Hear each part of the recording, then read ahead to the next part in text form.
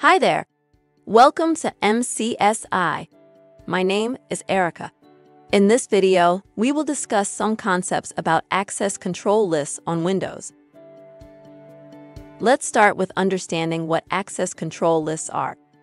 Computers running Windows were designed to be multi-user systems.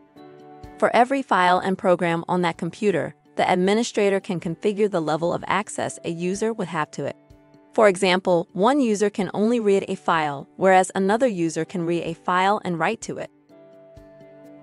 An Access Control List, or ACL, formally defines the read, write, and execute permissions that a user or a group has on a file or a program. When a file is created, a default access control list is assigned to it. It can be modified by the system administrator. Since the ACL contains the security information for a file or program, it is also referred to as security descriptor. Now, I will demonstrate how you can view access control lists in the user land. Let's consider the program notepad.exe. Right-click on the file and select Properties. Navigate to the Security tab. Here, we can view the list of user and groups who can use this program. Click on a user or group and view the permissions assigned to them here. This constitutes the Access Control List, or ACL, for the Notepad program. Using the command prompt, the command icacls can be used to view the ACL associated with a file or program. Next, we will view the ACL of the Notepad binary in kernel land. Notepad is currently running on my computer. The binary is in execution, so we will view the ACL of the Notepad process. Before we begin observing access control lists in the kernel land, let us understand some concepts. When a program is in execution, in the kernel land, an object header is added to it. This object header contains a field called as SD or security descriptor that contains the access control list associated with that program. In the kernel land, we will first find the address of the program, then find the address of the object header, and find the address of the security descriptor to view its contents. Let's begin.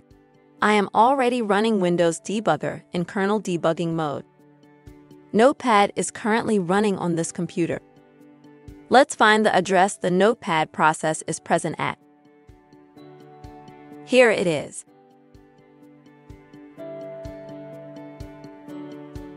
We will pass this value to the object command to find the address of the object header. We will copy this value.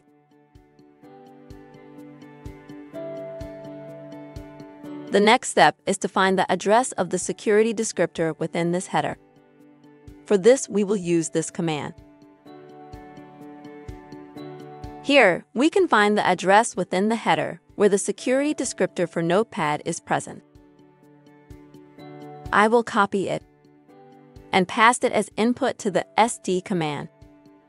To view the information, an operation with minus 10 must be performed.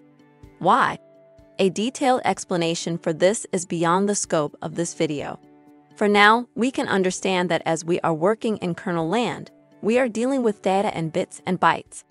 This then operation is performed to interpret the information present in the security descriptor. Here, we can view the access control list associated with the Notepad binary. Each item is referred to as an access control entry, here, you can find information about whether the access is allowed or denied. Following this, you can find some flags, size of the access control entry and the security identifier or SID of the user for whom this entry is relevant. To map the SIDTOs a user, run this command in the terminal.